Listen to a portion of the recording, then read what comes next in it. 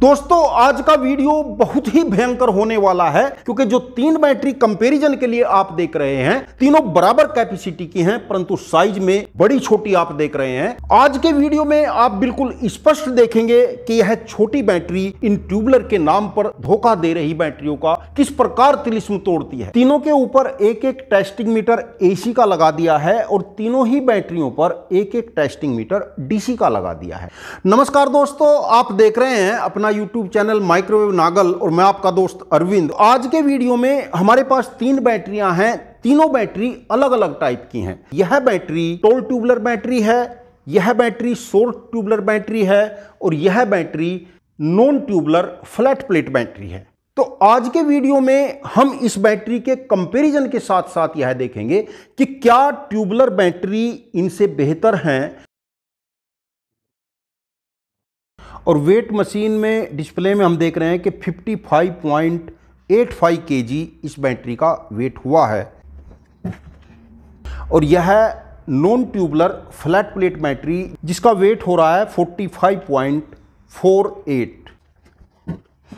और दोस्तों, यह शॉर्ट ट्यूबलर बैटरी 160 एच में है। व्यूवर के बहुत कमेंट आ रहे थे कि शॉर्ट ट्यूबलर बैटरी का भी कंपैरिजन दिखाया जाए।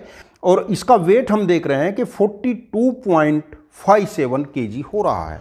दोस्तों, तीनों बैटरियों को टेस्टिंग काउंटर पर सजा लिया गया है। इनका वेट आप देख चुके हैं। बैटरी कंपनी चार्जड हैं। कोई बैटरी कम या ज़्यादा चार्ज हो सकती है। इसीलिए सबसे पहले हम इनको एक समान लोड पर डिस्चार्ज करते हैं। तीनों के साथ बराबर कैपेसिटी के इन्वर्टर कनेक्ट हमने कर लिए हैं और बराबर ही लोड इनसे कनेक्ट कर लिया है। तीनों इन्वर्टर ऑन कर देते हैं। तीनों इन्वर्टर चालू हो गए हैं और तीनों हीटिंग रोड हम देख रहे हैं कि रेड हो गई है और इनको डिस्चार्ज होने देते हैं। दोस्तों, तीनों ही इन्वर्टर लो बैटरी देकर कट ऑफ़ हो चुके हैं। हम देख रहे हैं कि लो बैटरी का इंडिकेटर ऑन है। एक बार फिर से हम इनको ऑफ़ करके ऑन करके आपको दिखाते हैं। तीनों इन्वर्टर ऑन कर दिए हैं। हीटिंग रोड चालू हो गई हैं और कुछ देर के बाद यह बंद हो जाएँगे। यह इन्वर्टर ऑफ़ हो चुका है और यह इन्वर्टर भी ऑफ़ हो चुका है और यह इन्वर्टर भी लो बैटरी देकर ऑफ़ हो चुका है। दोस्तों तीनों बैटरियाँ समान रूप से डिस्चार्ज करने के बाद यह जो मेन सप्लाई से जुड़ा हुआ टेस्टिंग मीटर है यह हमें बताएगा कि इन्वर्टर और बैटरी दोनों ने मिलकर कितनी एनर्जी का कंजप्शन किया है। और जो बैटरी के ऊपर लगा हुआ मीटर है यह मीटर बताएगा कि बैटरी में कितनी एनर्जी हमने दी है और कितनी एनर्जी वापस हमको बैटरी देगी। तो आज इस वीडियो में हमें स्पष्ट पता चलेगा कि इनमें से कौन सी बैटरी कितनी एनर्जी का लॉस करेगी और कौन सा इन्वर्टर कितनी एनर्जी का लॉस करेगा। अभी चार्जिंग स्टार्ट नहीं की है स्विच अभी ऑफ़ है पहले इन सभी मीटर की जो यूनिट है उसको टेयर ज़ीरो कर है इसमें यूनिट हम देख रहे हैं कि 1.08 यूनिट हो रहा है। इसको टेयर ज़ीरो करते हैं। और यूनिट टेयर ज़ीरो हो गया है और जो डीसी का टेस्टिंग मीटर यहाँ पर लगा हुआ है हम देख रहे हैं कि एनर्जी यहाँ पर पहले से ही ज़ीरो है। दूसरी बैटरी इसकी यूनिट हम देख रहे हैं कि 1031 वाट घंटा। यानी यदि इसको यूनिट में देखेंगे तो 1.031 यूनिट यहाँ पर हो रहा है इसको टेयर ज़ीरो करते हैं। और यूनिट टेयर ज़ीरो हो गई है। और इसके एसी मीटर में भी हम देख रहे हैं कि यूनिट पॉइंट एट सिक्स हो रही है, इसको भी टेयर ज़ीरो कर लेते हैं। यहाँ पर भी हमने यूनिट को टेयर ज़ीरो कर लिया है और जो तीसरी हमारी बैटरी है 150 एच की ही है और यह ट्यूबलर बैटरी नहीं है नॉन ट्यूबलर बैटरी है। इसके डीसी मीटर में हम देख रहे हैं कि यूनिट यहाँ पर ज़ीरो ही है। और एसी मीटर में भी देख लेते हैं कि यूनिट 1.03 हो रही है, इसको टेर ज़ीरो कर देते हैं। इसके चार्जिंग के स्विच को ऑन कर लेते हैं। मेन का इंडिकेटर चार्जिंग का इंडिकेटर चालू हो गया है।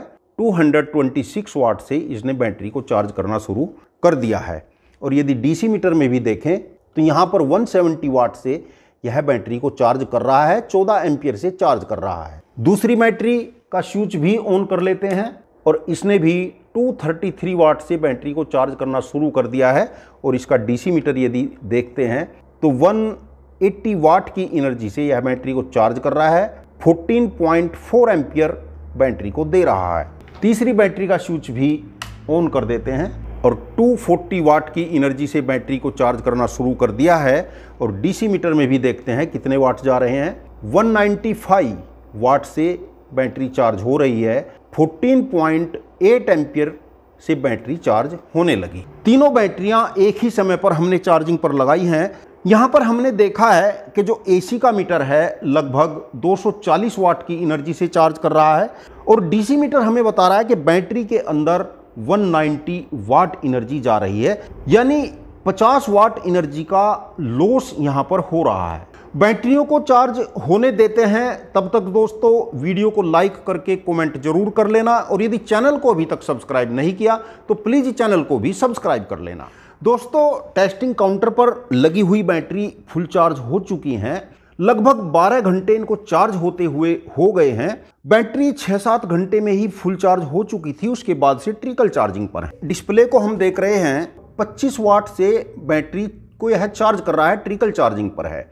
और इसने यूनिट कंज्यूम की है 1.66 यूनिट का एसी का कंजप्शन किया है। और इसका बैटरी के लिए जो डीसी मीटर हमने लगाया था, इसमें भी हम देख रहे हैं, जो हमारी एनर्जी स्टोर हुई है, बैटरी ने जितनी एनर्जी स्टोर की है 1238 को यूनिट में चेंज करूँगा तो 1.24 यूनिट यह आएगा। एमरोन की ही एक शॉर्ट ट्यूबलर बैटरी है 160 एच में है और इसके यदि एसी मीटर को हम देख रहे हैं, वही 14 वाट से यह इन्वर्टर बैटरी को चार्ज कर रहा है, ट्रिकल चार्जिंग पर है। और यूनिट हम देख रहे हैं कि 1.85 यूनिट का, एसी यूनिट का इसने कंजप्शन किया है। और इसके डीसी मीटर को भी देख लेते हैं तो बैटरी के अंदर जो एनर्जी स्टोर हुई है, वह 1.35 यूनिट की एनर्जी बैटरी के अंदर स्टोर हुई है। और दोस्तों, तीसरी बैटरी, और इसके यदि एसी मीटर को हम देख रहे हैं तो यह 37 वाट की एनर्जी से चार्ज कर रहा है ट्रिकल चार्जिंग पर है, और इसने यूनिट का कंजप्शन किया है 2.37 यूनिट का, यहाँ पर कंजप्शन किया है इस बैटरी ने, जो कि अब तक की हमारी टेस्टिंग में, हमने लगभग 35-40 बैटरियों को टेस्ट कर लिया है, कुछ की वीडियो चैनल पर डाली है, कुछ की नहीं डाली है, सभी बैटरी दो यूनिट से कम ही कम पर चार्ज हो जाती थी। और यहाँ पर भी हम देख लेते हैं कि इसने कितनी एनर्जी अपने अंदर स्टोर की है। तो यहाँ हम देख रहे हैं कि 1.75 यूनिट इस बैटरी के अंदर स्टोर हो गई है। यानी इस बैटरी की एनर्जी स्टोर करने की क्षमता ट्यूबलर बैटरी से यहाँ पर हमें अधिक दिखाई दे रही है। और यदि चार्जिंग करते समय एनर्जी के स्लोस को हम परसेंटेज में देखें तो यहाँ भी 26 परसेंट एनर्जी का लॉस हुआ है। यहाँ भी 26 परसेंट एनर्जी का लॉस हुआ है। और यहाँ भी 26 परसेंट एनर्जी का ही लॉस हुआ है। और दोस्तों, जैसा कि हमने यहाँ पर देखा कि इस बैटरी ने इन दोनों बैटरियों की अपेक्षा अधिक एनर्जी स्टोर की है। देखने में यह बैटरी ज़रूर छोटी है, लेकिन एनर्जी स्टोर करने की अक्षमता इसकी बहुत अधिक है। ज़रूरी नहीं कि जिस व्यक्ति का पेट बड़ा होता है, उसका हाजमा भी बड़ा होता है। कभी कभी बहुत दुबले पतले व्यक्ति भी यदि कोई शादी समारोह मिल जाए तो 40-45 गुलाब जामुन पहली डकार में ही ले लेते हैं। बेशक यह बैटरी छोटी है, परंतु इसकी एनर्जी स्टोर करने की क्षमता यहाँ पर हम ज़्यादा देख रहे हैं। इनका हम बैकअप देखते हैं। कि कितने समय तक यह बैटरी हमें बैकअप देंगी, कितनी एनर्जी का लॉस होगा और कौन सी बैटरी का परफॉर्मेंस अच्छा रहेगा। दोस्तों, तीनों इन्वर्टर के साथ बराबर लोड हमने कनेक्ट कर दिया है और तीनों इन्वर्टर के स्विच ऑन कर लेते हैं। समय हम देख रहे हैं कि आठ बजकर पैंतालीस मिनट हुई है, पौने नौ बजे हैं, एट फोर्टी फाइव का समय है। हमने सभी मीटर में टेयर ज़ीरो कर लिया है, जिससे समय अधिक ना लगे।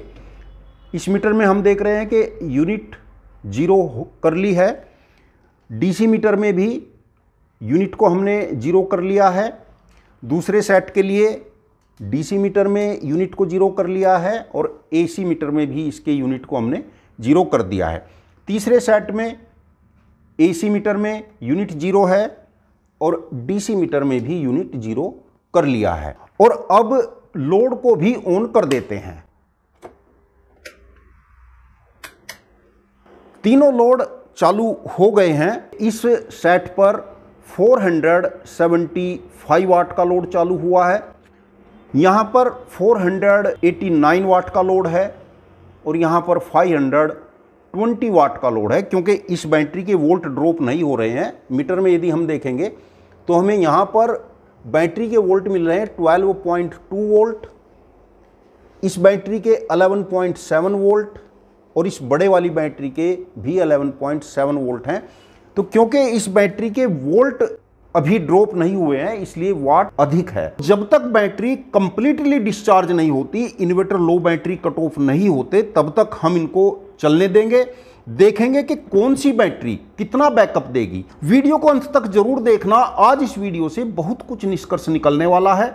वीडियो यदि अच्छा लगा तो वीडियो को लाइक करके शेयर ज़रूर कर देना और यदि आपका कोई क्वेश्चन है तो कमेंट में ज़रूर पूछ लेना। और चैनल को यदि अभी तक सब्सक्राइब नहीं किया तो प्लीज़ चैनल को भी सब्सक्राइब कर लेना।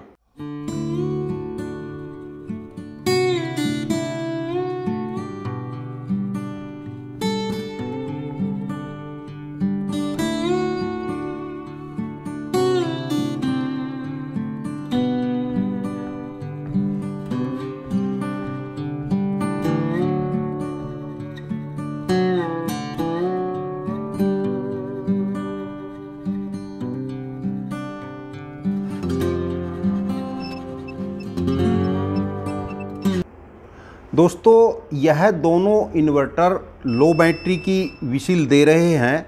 बंद होने ही वाले हैं। लगातार लो बैटरी का इंडिकेटर और लो बैटरी की विशिल इनमें आ रही है। इस समय लोड 380 वाट का चल रहा है और इस पर 370 वाट का लोड चल रहा है। और यह इन्वर्टर बंद हो चुका है।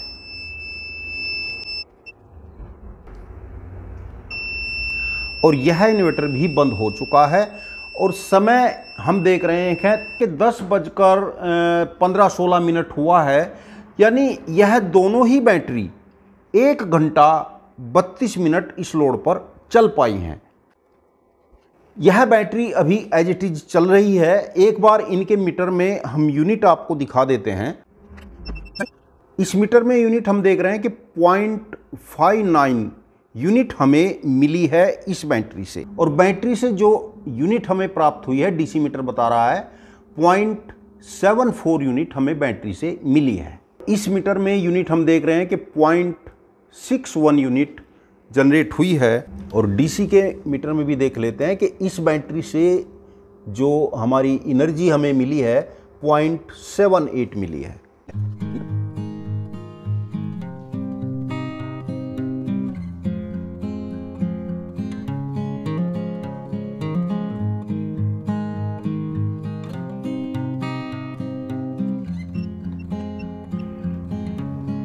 और दोस्तों, इस बैटरी के साथ लगा हुआ इन्वर्टर भी लो बैटरी का इंडिकेटर दे रहा है और विसिल भी दे रहा है और ऑफ़ हो चुका है। समय हम देख रहे हैं कि दस बजकर लगभग तैतालीस मिनट हुआ है। टेन फोर्टी थ्री मिनट हुआ है, यानी इस बैटरी ने इस लोड को लगभग दो घंटा चलाया है। टू हावर का बैकअप इस बैटरी ने यहाँ पर दिया है और इसकी मीटर की रीडिंग भी हम देख लेते हैं। कि इस बैटरी से 0.090 यूनिट जनरेट हुई है और इसके डीसी मीटर में हम देख रहे हैं कि 1143 वाट घंटा की एनर्जी मिली है, यानी 1.14 यूनिट का इस बैटरी ने जनरेशन किया है। दोस्तों, वैसे तो कैमरे के सामने आपने सब कुछ देख ही लिया है। एक बार फिर से मैं आपको बता भी रहा हूँ, आजकल इन्वर्टर के साथ में इस तरीके की बड़ी बड़ी बैटरियाँ लगाने का प्रचलन है, परंतु यह देखने में ही बड़ी होती हैं। बैकअप हमने देखा है कि इस बैटरी और इस छोटी बैटरी का बैकअप समान रहा है और इनमें जो सबसे छोटी बैटरी है, इसका बैकअप सबसे अधिक रहा है। इन दोनों बैटरियों के साथ जो हमारा लोड चला है, यह 430 वाट का औसत लोड चला है।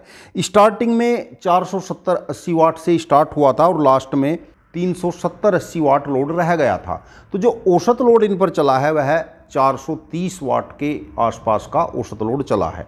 इस बैटरी की टेस्टिंग हमने पहले भी कर रखी थी। यह बैटरी वही डेढ़ घंटे का बैकअप देती है इस 430 वाट लोड पर। और इस बैटरी के साथ जो लोड चला है, यह औसत लोड रहा है 450 वाट का। क्योंकि इस बैटरी के वोल्ट बहुत जल्दी ड्रॉप नहीं हुए, वोल्ट एक लंबे समय तक स्टेबल रहे और इसलिए यहाँ वाट भी ज़्यादा रहा। तो औसत लोड इस सिस्टम का रहा है 450 वाट और 450 वाट का लोड इस बैटरी ने दो घंटे चलाया है। इस बैटरी से जो हमें यूनिट मिली है, वह 1.14 यूनिट मिली है। इस बैटरी से 0.78 यूनिट मिली है और इस बैटरी से 0.74 यूनिट हमें मिली है। जबकि इसमें चार्जिंग के समय करंट स्टोर हुआ था 1.24 यूनिट का, इसमें हुआ था 1.35 यूनिट का। इसमें जो डीसी करंट स्टोर हुआ था, वह 1.75 यूनिट का स्टोर हुआ था। और यदि टोटल एनर्जी लॉस की बात करें तो इस सिस्टम के साथ में टोटल एनर्जी लॉस रहा है 60 परसेंट का इस सिस्टम के साथ में 65 परसेंट का और इस सिस्टम के साथ भी 65 परसेंट का टोटल लॉस रहा है। इस बैटरी की रिप्लेसमेंट वारंटी टू ईयर है और इसकी मार्केट वैल्यू 13,500 है। इस बैटरी की भी रिप्लेसमेंट वारंटी टू ईयर की है और इसका मार्केट प्राइस 11,000 है। इस बैटरी की रिप्लेसमेंट वारंटी थ्री ईयर है और इसका market price twelve thousand five hundred है। बेशक इस बैटरी की वारंटी कम है लेकिन अधिक लोड पर इस बैटरी के वोल्ट बहुत जल्दी ड्रॉप नहीं होते और बैकअप भी इसका ट्यूबलर बैटरी से अधिक रहता है। दोस्तों अब तक हमने 35-40 बैटरियों को हम टेस्ट कर चुके हैं जिनमें से कुछ की वीडियो हमने चैनल पर भी डाली है। सभी की वीडियो चैनल पर नहीं डाली क्योंकि कई सारी बैटरियाँ ऐसी भी सामने आई जिनकी वीडियो डालने लायक ही नहीं थी जो 20, 25 या 30 मिनट का ही बैकअप दे पाई और फेल हो रही थी।